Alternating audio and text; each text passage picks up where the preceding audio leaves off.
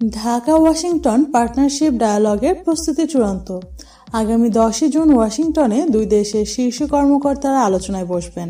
দ্বিপক্ষীয় স্বার্থ সংশ্লিষ্ট বিষয়াদি আলোচনা হয়ে থাকে এই ফোরামে। পররাষ্ট্র সচিব মোহাম্মদ শহীদুল হক এই সংলাপে বাংলাদেশ প্রতিনিধি দলের নেতৃত্ব দেবেন। আর প্রযুক্তির পক্ষে সংলাপে নেতৃত্ব দেবেন টেস্ট ডিপার্টমেন্টের রাজনীতি বিষয়ক আন্ডার সেক্রেটারি ডেভিড হেল। প্রাথমিক পর্যায়ে যেসব আলোচ্যসূচি চূড়ান্ত করা হয়েছে, তার অন্যতম হচ্ছে ইরান ও উত্তর কোরিয়া প্রসঙ্গ। ওয়াশিংটনের তরফে ইতিমধ্যেই এই দুটি ইস্যুতে ঢাকার সঙ্গে সুনির্দিষ্ট আলোচনার আগ্রহ ব্যক্ত করা হয়েছে। যদিও এই ইস্যুগুলো নতুন নয়।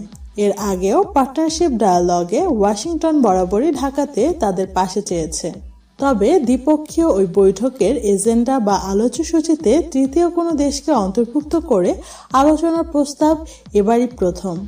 নাম প্রকাশ না করার শর্তে একজন পররাষ্ট্র কর্মকর্তা বলেছেন বিষয়টা নিয়ে বাংলাদেশে আগ্রহের কমতি নেই। এজন্য বাড়তি প্রস্তুতি নেওয়া হয়েছে। উল্লেখ্য যে যুক্তরাষ্ট্র সম্প্রতি ইরানের উপর অর্থনীতি ও জ্বালানি অবরোধ আরোপ করেছে। অন্যদিকে, কোরিয়া উপদ্বীপ নিউক্লিয়ার ও বোমামুক্ত করার জন্য উত্তর কোরিয়ার সঙ্গে আলাপ আলোচনা চলছে। যদিও যুক্তরাষ্ট্রের সঙ্গে আলোচনা ভেস্তে যাওয়ার অভিযোগে এরই মধ্যে তার দেশের এক কর্মকর্তাকে ফাঁসির দণ্ড দিয়েছে।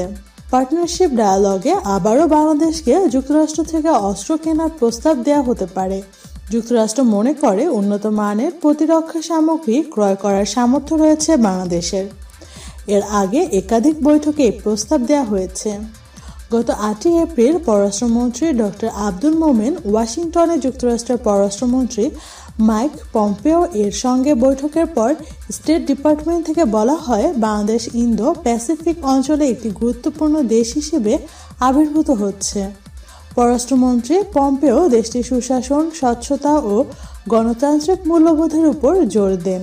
আপনি যদি এই চ্যানেলে নতুন হয়ে থাকেন, তবে সকল আপডেট সবার আগে পেতে সাবস্ক্রাইব করুন আমাদের চ্যানেল এবং বেল আইকনে ক্লিক করে রাখুন। ধন্যবাদ।